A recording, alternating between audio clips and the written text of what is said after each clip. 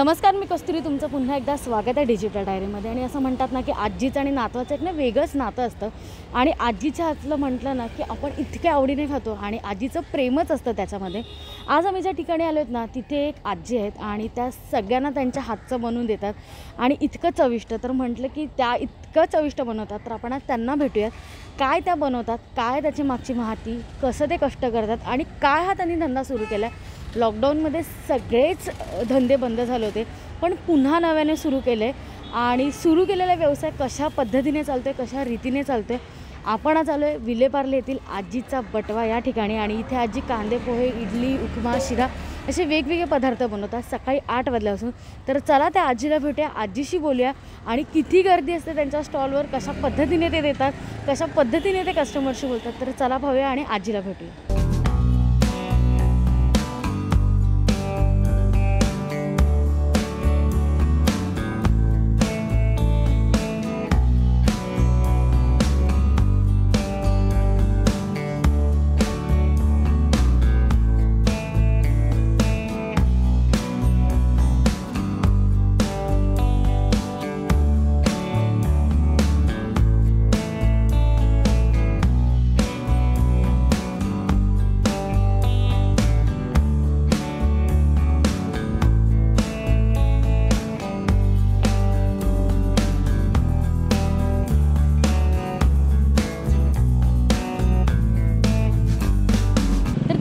बघितलं आजीचा स्टॉल कसा आहे? आजी कशा पद्धतीने देते? आजीच्या स्टॉलमध्ये काय काय मिळतं?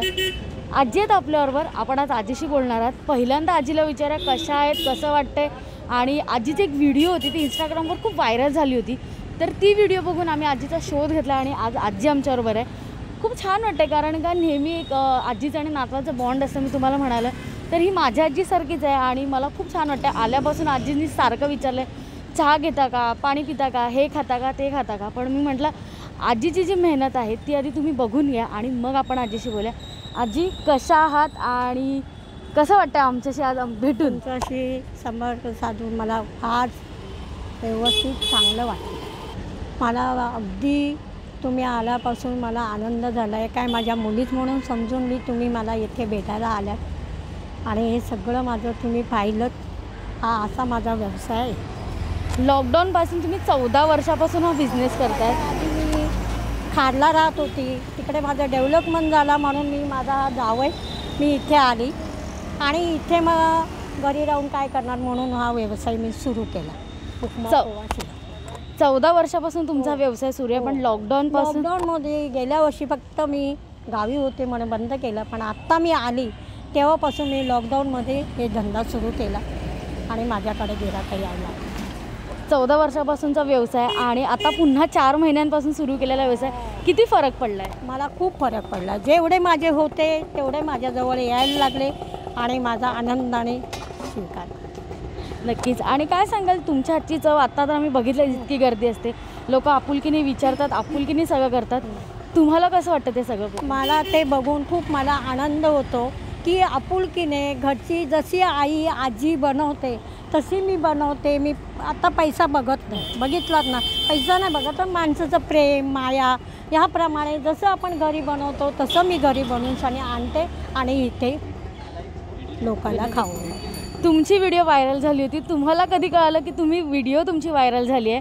आणि तुम्हाला कसं वाटतं की आता तुमची व्हिडिओ व्हायरल झाली पण आता तुम्हाला सगळ्यांना तुमची मेहनत दिसणार आहे? पण ती व्हिडिओ व्हायरल झाली होती हे तुम्हाला कधी समजलं होतं. मला दोन दिवसापूर्वी एअरपोर्ट कॉलनीतला ऑफिसवाला ऑफिसर आहे. तो आला आणि त्यांनी मला दाखवलं की एअरपोर्ट कॉलनीतले सगळेजण इथे येतात खायला. ते मला नाही म्हणाला आई बघ तुझा फोटो आला आहे तर मी म्हटलं कोणी काढलं? मला माहिती नाही या गर्दीमध्ये कोणी. काढलं असेल. तर मी म्हटलं मला माहिती नाही तेव्हा मला त्यांनी दाखवलं तेव्हा मला हे कळलं की कोणीतरी माझं फोटो काढ फोटो काढला.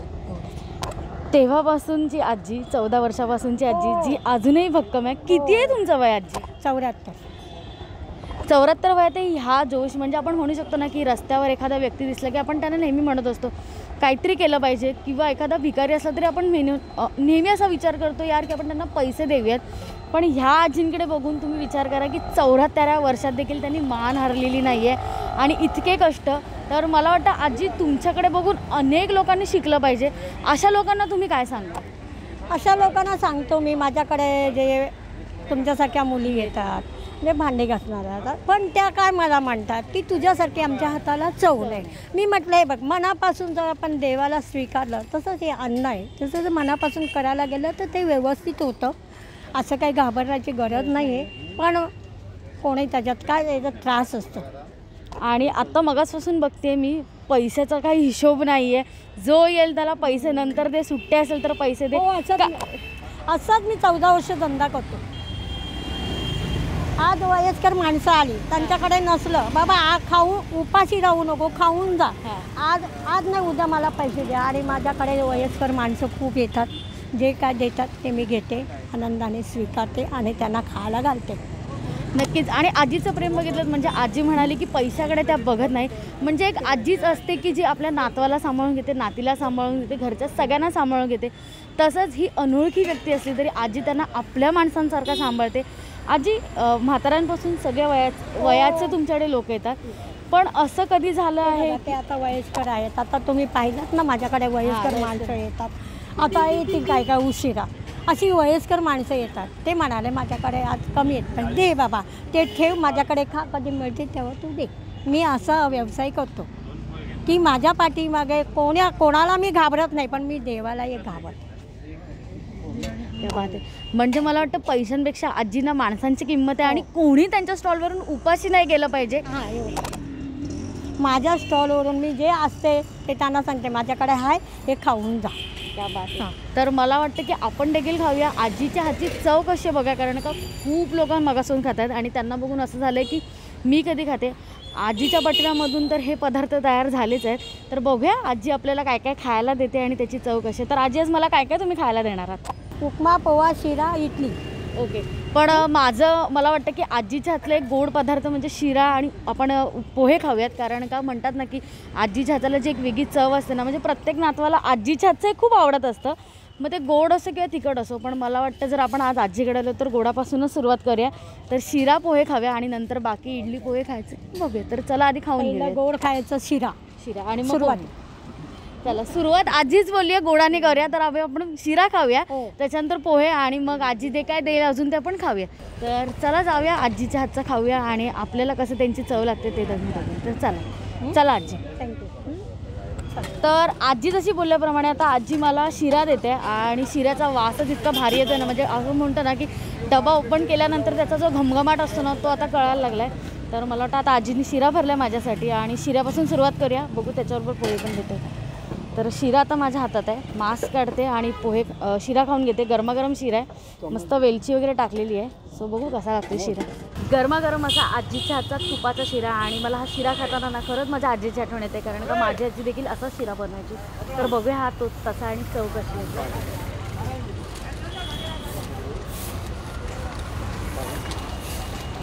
शेवटी ते आजीच्या हातचं ते आजीचं असतं. त्याच्या पुढे कोणतीच चव कमाल आहे. आजी इतका छान शिरा. एकदम मऊ लुसलुशीर परफेक्ट एकदम गोड आहे. वेलची आणि एकदम भारी. मला तरी खूप आवडलं आहे तुम्ही कधी बनवलं? तुमच्या हातचं खाता? का फक्त कस्टमर येतात त्यांनाच देता? ते मला तू लक्षात पण नाही. तुला जास्त ठेवायला पाहिजे होतं. आज संपलाय. आजीचं आता सगळं ऑलमोस्ट संपत आले त्यामुळे आजी. थोड्या नाराज आहेत की आता सगळं संपत आले पण जेवढे तेवढं ते मला देत आहे पण खूप टेस्टी आहे खूप भारी लागते. तर आता शिरा खाल्ला तर पोहे पण बघूया याला कसे काय?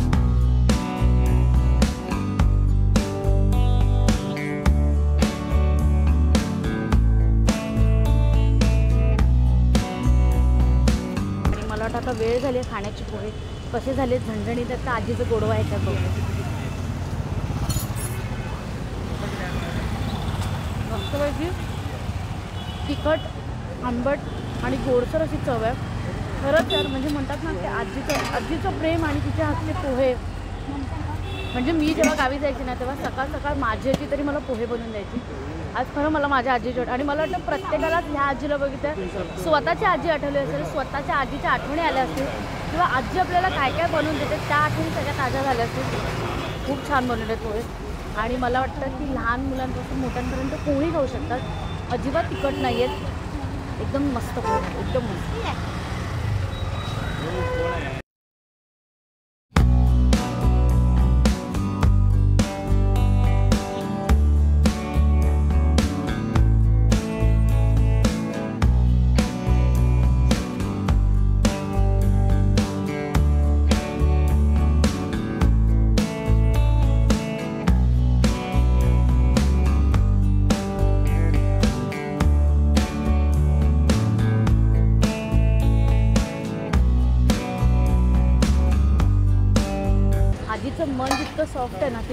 तितकीच सॉफ्ट आणि असं म्हणतात ना की ज्याचं मन एकदम स्वच्छ असतं ना तो सगळ्या गोष्टी स्वच्छ असतो. आणि इतकं सगळं टेस्टी आहे ना इतकं सगळं टेस्टी म्हणजे कोणीच शकत नाही आहे मला तरी खूप आवडलं आहे मी सगळं खाऊन घेते. हा आजीचा स्टॉल कसा आहे तुम्ही बघून घ्या आणि पुन्हा पण आजीची गप्पा मारणार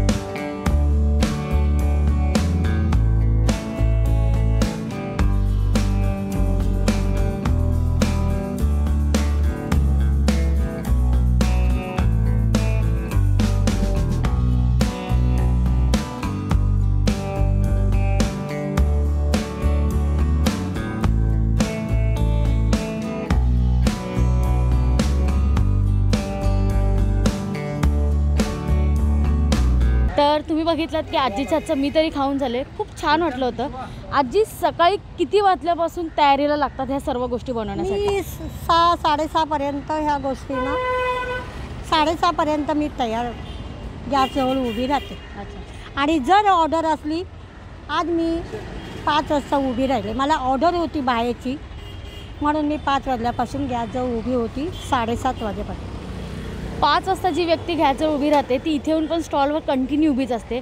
पण गंमत बघा ना एका तासात म्हणजे आजी साडेआठ वाजता आली आता वाजले साडे नऊ एका तासात सगळं संपलं. जेव्हा आम्ही आलो तेव्हा भरलेले सगळे डबे होते आणि आता आजी सगळे रिकामी डबे झालेले आहेत. म्हणजे ही का परत जातात ही तुमच्या हातची जादू आहे खरं तर कारण का एका तासात सगळं संपणं ही खूप मोठी गोष्ट आहे.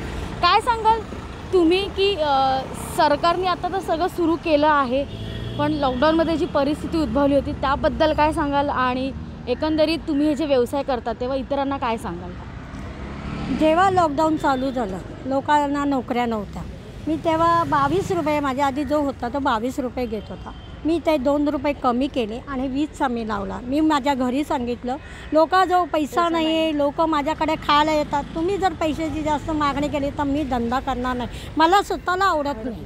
म्हणून मी वीस रुपयांनी धंदा सुरू केला. आता सगळे ओढायला लागले म्हणून दोन रुपये वाढवले. आणि मी प्रेमाने करते प्रेमाने खायला घालते. ज्याच्याकडे नाही ते बाबा खाऊन जा जेव्हा मिळतील तेव्हा तुम्ही या आणि मला द्या. दुसऱ्या याच्या पलीकडे माझ्याकडे काही नाही. म्हणजे तुम्ही एक बघितलं का लॉकडाऊनमध्ये लोकांनी सगळंच हो. ठप्प असताना आजीनी स्वतःचे पैसे कमी केले म्हणजे भाव? हो. की जिथे बावीस रुपये होते तिथे वीस रुपये केले म्हणजे ही खूप मोठी गोष्ट आहे. आजी असून जर हे असा विचार करतात तर आपल्यासारखी जी व्यक्ती आहे त्यांनी तर नक्कीच असा विचार केला पाहिजे. तुम्हाला दाखवतो तुम्ही तर आजीचे भरलेले डबे सगळे बघितले असतील पण हे रिकामी डबे बघण्याची देखील एक मजा आहे. म्हणजे एका तासामध्ये जी जादू झाली आहे ना ती आता तुम्ही बघून घ्या. हे माझी इडली.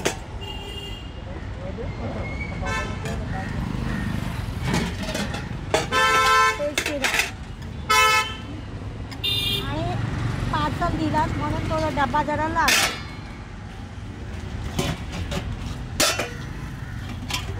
आणि थंड होते म्हणून मी गरम पाणी आणलं. आणि आता तुम्ही बघितलं सगळेच डबे रिकामी झालेत आणि मला वाटतं आजचा दिवस आजीच्या इथे संपला म्हणजे एका तासामध्ये येऊन आजीनी सगळ्यांचं पोट भरलेलं आहे. सकाळचा नाश्ता सगळ्यांचा टमटमीट करून झालेला आहे. उद्या त्याच उमेदीने आजी परत पुन्हा इथे उभे राहणार आहे. आणि मला तरी खूप छान वाटलं इथून कारण का आजीशी भेटली आजीशी गप्पा मारल्या आजीनी काय काय सांगितलं ते देखील तुम्ही नक्की आहे का हे विलेपार्लेला आहे याचा संपूर्ण ॲड्रेस आम्ही तुम्हाला डिस्क्रिप्शनमध्ये देऊ. तुम्ही देखील नक्की या आजीचा बटवा कसा वाटला आजीच्या स्टॉलवर नक्की या. तुम्हाला यातलं काय काय आवडतं सांगा. आजी कशी वाटते इथे येऊन ते देखील नक्की सांगा. म्हणजे बघा ना एका व्हिडिओच्या व्हायरलने जर आपण एखाद्याला मदत करू शकतो किंवा त्याच्या हातची चव चाकायला येऊ शकते ही खूप मोठी गोष्ट आहे. आणि आजी खरंच थँक्यू की तुम्ही आम्हाला संधी दिलीत तुम्ही आमच्याशी बोललात आणि तुम्ही आम्हाला हे सगळं करून दिलं त्याबद्दल तुमचे खूप आभार. धन्यवाद.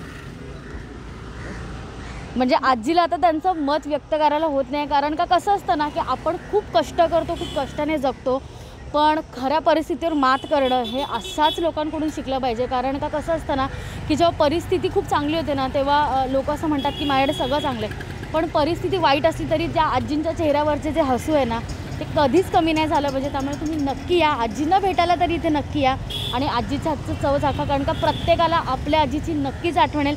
जसं मी म्हणाले की मला माझ्या आजीची आठवण आली तुम्हाला देखील तुमच्या आजीची आठवण येईल. नक्की या आणि अशाच नवनवीन व्हिडिओ पाहण्यासाठी आमच्या चॅनलला लाईक करा शेअर करा आणि सबस्क्राईब करा. तर चला आजी आता बाय बाय बोलूया आणि आता आपण घरी जातो तुम्ही आनंदात सुखात राहा. कधी जर या बाजूला आलात तर मला भेटायला या. मला भेटल्याशिवाय जाऊ नका. माझ्याकडे लांब लांबची पोरं येतात. ठाणा कुठे कल्याण कुठे विराट कुठे? माझ्याकडे खायला येऊ नका पण मला हाक मारून पुढे जातात. त्या बाते आणि आजीने तर आम्हाला हे भरभरून दिलंय पण आजीचा असा एक अट्टास होता ना की जाताना तुम्ही काहीतरी पिऊन जायला पाहिजे. तर आमच्यासाठी लस्सी देखील दिली आजीने. म्हणजे आता बघा ना इतकं सारं खाल्लेलं आहे पण तरी शेवटी म्हणतात ना आजी ते आजीचं प्रेम आहे की कितीही खायला दिलं तरी ते नातवंडांसाठी कमीच असतं. त्यामुळे हे आजीचं प्रेम बघून खूप भारी वाटते आणि पुन्हा एकदा तुमचे आभार.